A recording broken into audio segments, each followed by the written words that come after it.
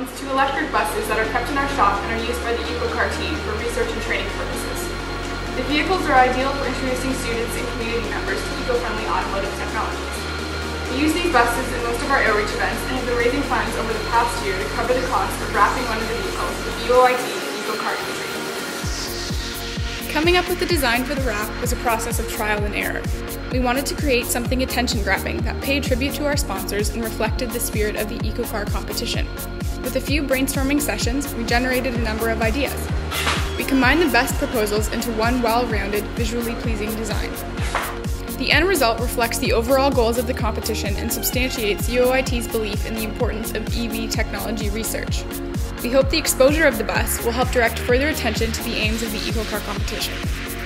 The UOIT team is looking forward to contributing to advancements in the automotive industry and helping develop the transportation solutions of tomorrow.